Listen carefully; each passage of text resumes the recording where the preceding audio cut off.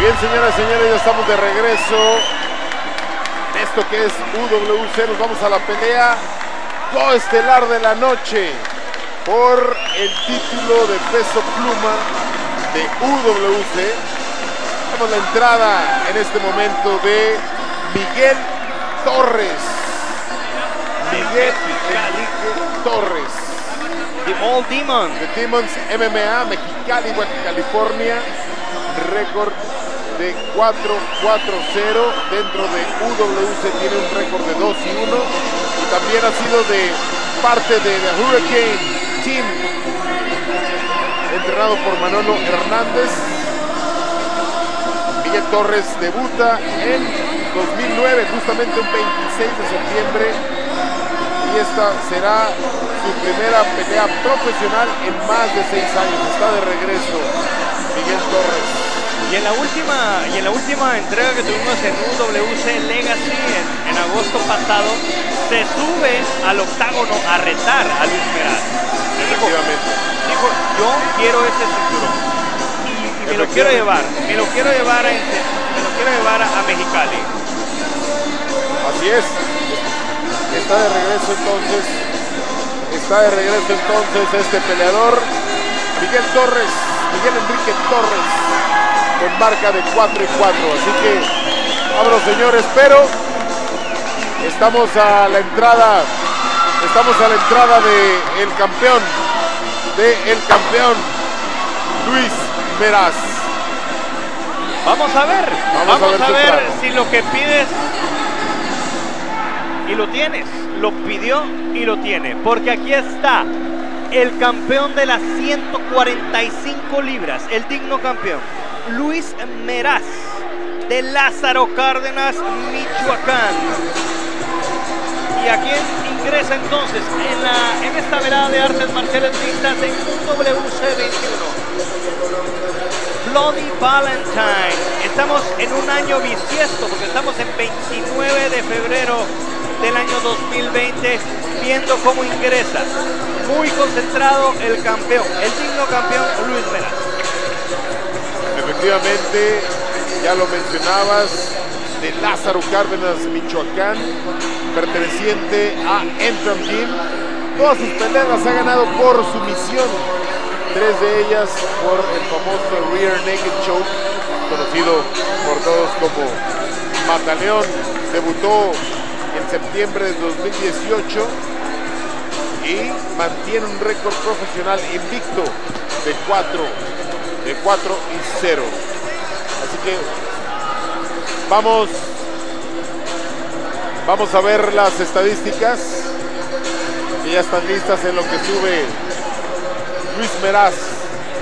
Luis Meraz Del campeón, de el digno campeón. por supuesto. Muy concentrado.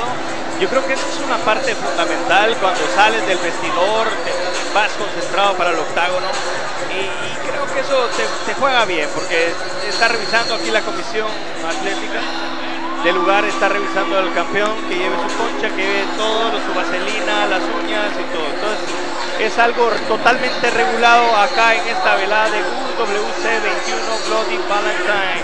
Vamos a las estadísticas con mi compañero Felipe de María.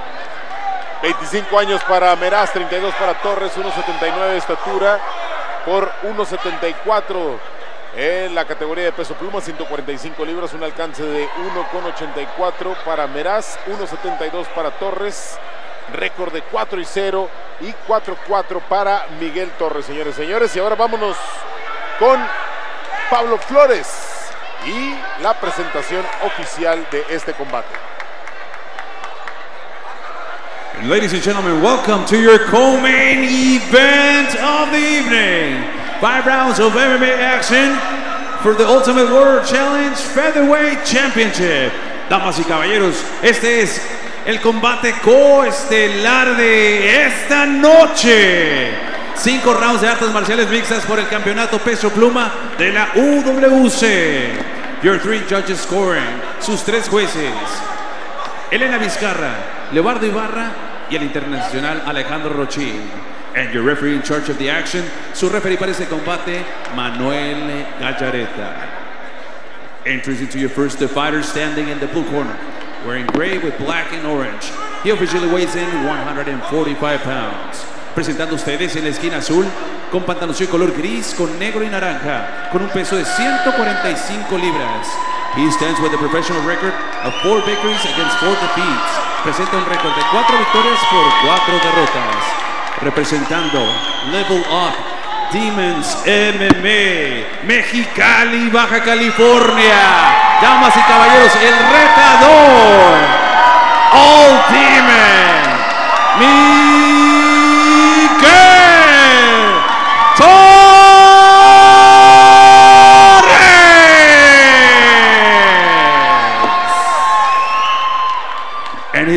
across the cage standing in the red corner, wearing black with gold and silver. He officially weighs in the same 145 pounds. Y su rival en la esquina roja, vistiendo pantaloncillo color negro con oro y plata, con un peso idéntico de 145 libras. He stands with a record, a perfect one. Four victories against no defeats. Cuenta con un récord perfecto, cuatro victorias sin conocer la derrota. Representando Entram Gym de Tijuana, Baja California, el mero mero de Lázaro Cárdenas, Michoacán. Ladies and gentlemen, introducing the champion. Con ustedes el campeón defensor peso pluma de la UWC. Luis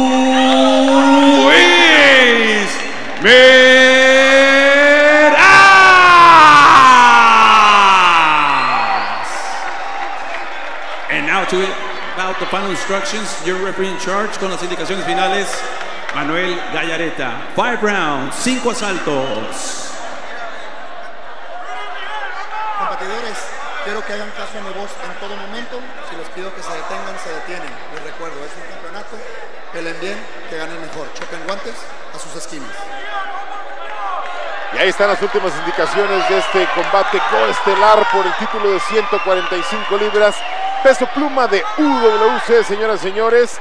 Miguel Torres en contra del campeón Luis Meraz. ¡Vámonos!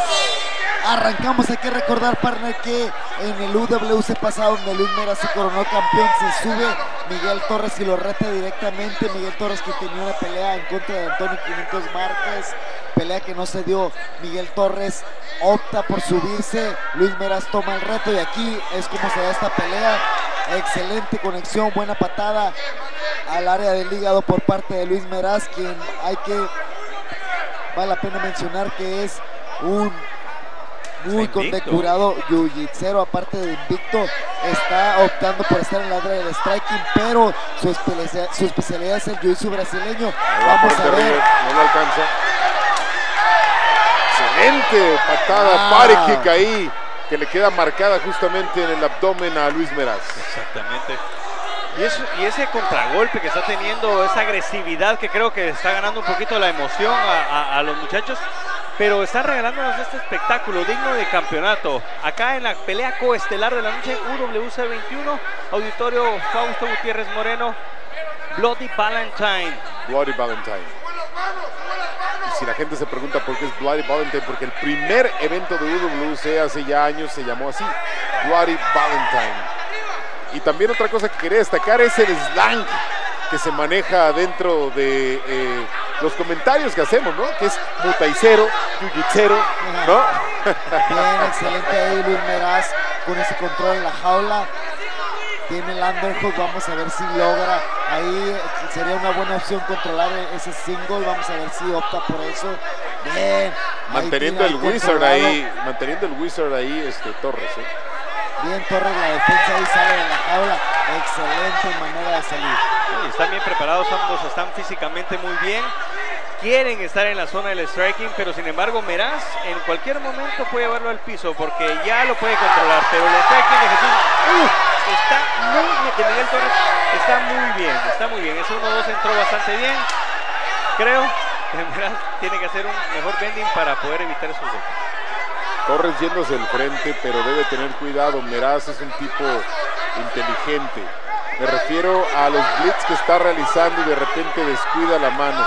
Y en su desesperación por tratar de hacer daño al campeón, puede recibir castigo. Hay que tener mucho cuidado. Por algo es campeón Meraz, porque tiene experiencia, porque tiene colmillo y porque tiene un récord bastante decoroso. Sí, en mi opinión creo que Meraz no está haciendo eh, una pelea, creo que está disfrutando la pelea, sin embargo no está haciendo una pelea del todo inteligente, ya que lo que tiene que hacer es presionar en la jaula. La respuesta de Torres no fue, creo que suficiente inteligente. Meraz necesita presionar en la jaula, irse derribo y creo que necesita llevar la pelea a donde más se le beneficia, ya que Torres lo vemos que es un peleador muy trabajado y que ha demostrado tener buen stretching, aparte de que físicamente se ve muy, muy fuerte. Exactamente, está muy fuerte, está varios golpes y unas combinaciones largas que está haciendo como Belfort en algún momento las hizo. Tiene Meraz que buscar esa parte, tiene que encontrar tal vez su distancia, moverse un poquito los ángulos para salir de la zona de peligro, porque Torres está bastante agresivo. Y hay que destacar el trabajo, sí, de Torres, ¿eh? que está limpio del rostro, mientras que ya vemos algo dañado, eh, la nariz y los pómulos de- del campeón Luis Meraz. Así es, retrocediendo muy bien. Buen intento de switch patada por parte de Meraz. Ahí conecta, pero Torres tiene, aparte de tener buena quijada, creo que tiene muy buena piel porque podemos per- pudimos percibir que Luis lo ha conectado, sin embargo no tiene ninguna marca en el rostro. Efectivamente, ¿no? Y se da mucho, se da mucho. De repente hay peleas en donde los rostros terminan bastante dañados y bien la derecha por parte de Meraz. Es una pelea Ros- completamente de strike. Rostros como los de Uh. Rory McDonald o como los de GSP que los tocas y se, se desfiguran prácticamente, ¿no? Se, se inflaman. Y muchas veces han sido criticados porque dicen, no, pero mira cómo salió de la pelea. Pero es que así es su, la- así es su, su, su- piel. su piel, ¿no? Claro, se, se corta muy rápido, no es como la piel morena que cuesta un poquito más de, de ser cortada. Y se nota más, y se nota más en la blanca, obviamente. Pero aquí los jueces que tenemos pues saben que los golpes de poder es el criterio a, a calificar, no bueno, obviamente el daño, pero ah, sí estamos viendo Luis Meraz un poquito más dañado, pero buenas combinaciones. Yo creo que en la combinación está llevándosela más Torres. Así es, está, ha sacado mejor tajado de cada uno de los, los intercambios. Cierra con esa derecha ahí Luis Meraz, justo a la hora de la chicharra. Y bueno, tenemos un interesante inicio de combate en esta pelea coestelar de la noche. Luis Meraz en contra de Miguel Torres. Torres haciendo lo propio, presionando, tratando de impresionar a los jueces para ir en busca, ir preparando terreno en caso de que este combate se vaya a la distancia. Ahí estamos viendo algunas de las de las imágenes más importantes de este primer asalto. Donde vemos que Torres estableció una distancia, estableció un contraataque con combinaciones largas, acertando bastante bien al rostro del campeón Meraz. Un round no somos jueces, pero un round que creo que los golpes más significativos de los golpes de poder fueron tal vez, tal vez de, Torres. Pero todo puede pasar en las artes marciales mixtas. Un digno retador hasta el momento. En este primer asalto son cinco asaltos de cinco minutos y un buen retador que tenemos acá, es Miguel Torres contra el campeón Luis. Sí, definitivamente Miguel Torres, aunque tenía mucho tiempo inactivo y regresando en la jaula de WC, nada más y nada menos que retando por el campeonato, creo que ha dado mucho de qué hablar, creo que un excelente desempeño en este primer round es algo que no esperamos en contra del campeón que ha sido muy dominante, quien es Luis Meraz. Claro, y está invicto. Excelente body kick ahí por parte del campeón. Con la pierna izquierda justamente. Pero está plantado, está plantado ahí Torres, está plantado en el centro del octavo. No, no, no se chico pala, diríamos en Guatemala, para un campeón, un digno campeón. Pero sabe que los golpes de poder lo está teniendo él y las combinaciones le están favoreciendo. Los golpes también, que creo que ya la estrategia de Meraz es Excelente llevarlo al suelo. Muy buen timing ahí de Luis Meraz para llevar las acciones al suelo. Lo que yo iba a destacar eh, que no estaba bien hecho por Luis Meraz es ir eh, de, de- de- en línea recta hacia atrás. Es para evitar los castigos que está haciendo en Torres, debe de salir un poquito hacia, hacia los costados. Pero bueno, ahí utiliza bien el timing, lleva la pelea al suelo y ya da un aviso de lo que puede suceder. ¿Qué poder puede tener? Excelente. La verdad, Luis Merase me ha tocado entrenar mucho con él. Es un peleador muy, muy fuerte que tiene muy buen jiu-jitsu. Me sorprendió mucho la barrida a base de fuerza. Aprovechó el momentum aprovechó excelente el momento cuando Luis Meras trataba de transicionar e improvisar su, su, posición. En ese momento impone un poquito de fuerza Miguel Torres y logra barrer y salir de la posición de peligro. ¡Wow! ¡Wow! Y le agarra la pierna, lo lleva a la lona, atrapa esa pierna y con el recto lo manda a esta lona. Ojalá y aproveche esa posición. está castigando con los codos. Tiene una posición complicadísima porque es contra la reja, Felipe. Contra la reja, media guardia a, favor para Meraz. Y algo a destacar, previo a este derribe, ya el rostro de Torres se veía un poquito preocupado porque ya, ya, le, ya le habían encontrado el momento para derribarlo y aparentemente estaba eh, pensando ya o preocupado por el derribe que podría lograr Luis Meraz, que ahora justamente tiene la posición de privilegio, está aplicando el ground and pound, y aquí encuentra la espalda, eh, puede encontrar el body también. Vamos a ver. y es el principio del fin, señores y señores. Ahí está, ahí está, ahí está, ahí está, ahí está. ¡Wow! Luis Meraz, señoras y señores, encuentra el derribe, encuentra el ground and pound, se las ingenia para encontrar la espalda y después por supuesto, este mataleón que quedaba también como una especie de face crank y logra, logra la sumisión de Miguel Torres. Excelente defensa de campeonato. ¿Cómo es esto que cuando defiendes tu título por primera vez, pero de una manera inteligente, lo estás castigando en el piso, lo estás desesperando a manera de que te diera la espalda, automáticamente está volteando. Y aquí vemos a Luis Meras trabajando en la media guardia, conectando codazos, esos codazos que obviamente empiezan a lastimar, descuidan a Miguel Torres, es lo que logra el pase de guardia, Miguel Torres empieza a trabajar la espalda y en el momento que Luis Meras gana ese gancho, ya tiene el mataleón metido y es el principio del fin, tan solo en cuestión de acomodar posición, apretar y esperar a que el oponente tape. Excelente trabajo, trabajo del librito y trabajo del jiu-jitsu de Entram bien por parte de Luis Vera. Digno de un campeón, digno de la defensa de este campeón que se vio en contra por partes en el primer round, pero en el segundo salió a recomponer y dijo yo, este es mi título de las 145 libras y me lo quedo y lo voy a finalizar. Y aquí está, finalizando por este Mata León. La experiencia la paciencia, el trabajo, encontrar el punto débil de tu oponente en este segundo, segundo asalto fue, fue importante. Vámonos con. Ladies and gentlemen, this vámonos a la at 2 minutes and 10 seconds in round number 2. Tenemos el tiempo oficial, 2 minutos con 10 segundos del segundo asalto. Declaring your winner by the way of submission due to rear naked choke. El vencedor por la vía de la sumisión por una mata león y a un campeón peso pluma de la UWC. Entran Jim, el mero mero de Lázaro Cárdenas, Michoacán, Luis Vera.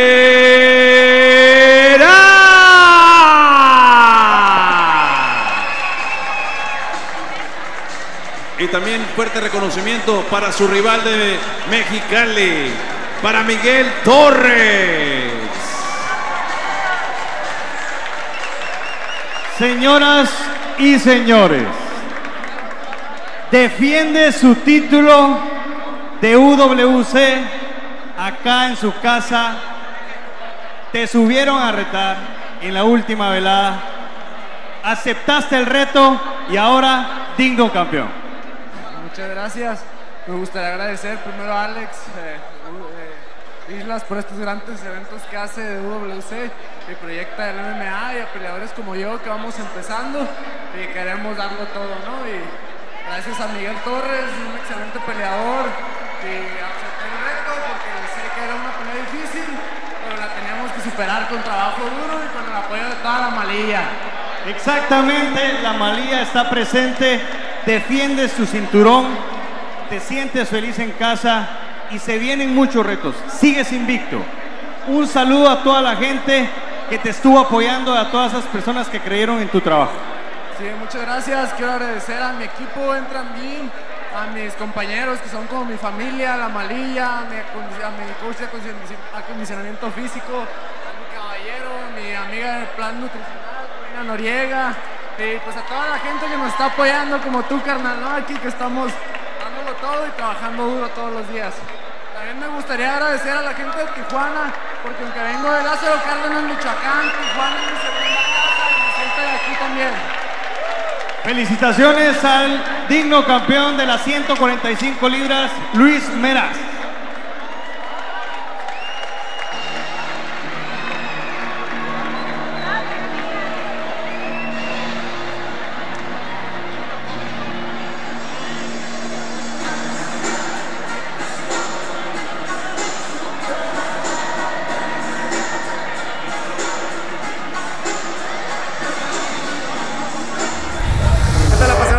Soy Alejandro Carranza, bienvenidos a Más MMA. Estamos en el Auditorio Municipal de Tijuana, en UWC número 21, Bloody Valentine, con el campeón actual y defendiendo su título por primera vez, Luis Meraz, de 145 libras. ¿Qué se siente, mi hermano, de estar al lado de uno de tus fans número uno, Brandon de Assassin Baby, y de tu compañero Puma Alvarado? Yo soy su fan también, no mames.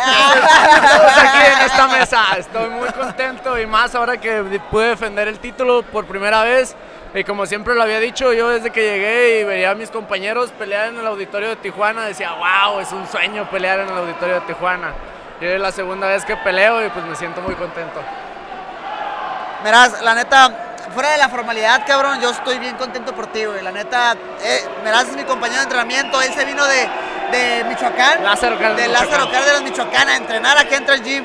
O sea, el simple hecho de salir de tu zona de confort, ir a otra ciudad, no conocer a nadie, eh, subir el nivel de tus entrenamientos, rifarte y llegar hasta donde estás. A Meraz le falta mucho camino, te falta mucho camino, cabrón, pero yo te veo hasta el cielo, carnal. Yo te veo Muchas gracias. las estrellas. Tú me dices muchas veces que eres mi, eres mi fan, güey, pero yo soy tu fan, güey. Yo soy fan de gente como tú, güey, que trabaja diario todos los días. Y, y la neta, mil respetos, carnal. Muchas gracias. Ahora sí que, que Brandon diga estas cosas. Una de las cosas que yo comentaba con Alex en una entrevista es que cuando yo tomaba la decisión de venirme a Tijuana, no fue cuando Brandon entra al UFC y gana su primer pelea. Dije, "Hey, Tijuana es mi lugar y tengo que irme a vivir y entrenar allá. Y eso me motivó bien, cabrón. Y ahora que él diga estas palabras, significa mucho para mí, carnal. De perro. Vato, pues todos estamos muy orgullosos de ti, la verdad. Este, qué manera de, de echarle ganas todos los días, la verdad. Yo te veo, Muchas yo contigo diario. Yo sé lo que has mejorado, yo sé lo que te ha costado también.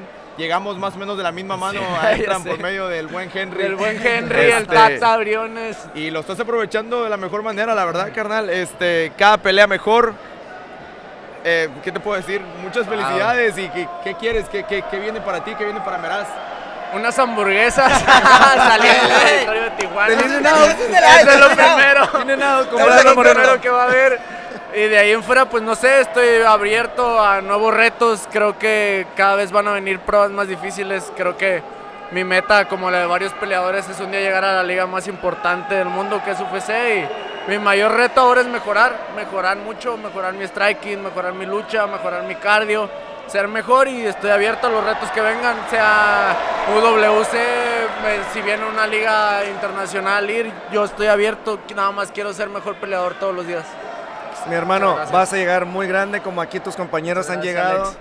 Así que te deseamos lo mejor, el- de, de lo mejor en tu, en tu carrera profesional, que vas de viento en popa hacia arriba. Ah, ¿eh? muchas gracias, Así Alex. que mi hermano, muchísimas gracias. Seguimos viendo el evento. Perdón, ¿quieres decir unas palabras? Eh, nada, agradecerte a ti, a Alex de la página de Más MMA, a Alex de la página, a Alex, perdón, de la liga de UWC, Alex, Alex Islas, Islas. por la oportunidad y gracias a toda la gente que me apoya, a toda la gente de Lázaro que me mandó fotos Oh. apoyándome hoy en las redes sociales. Eso. Yo no me subí solo hoy a la jaula, me subí con todos ustedes atrás de mí, con toda mi familia y yo no podía perder esta pelea nada más por ese simple hecho de que contaba con todos ustedes atrás de mí. Muchas gracias. Saludos. ¡Wow! ¡Vámonos! Eso. UWC Bloody Valentine.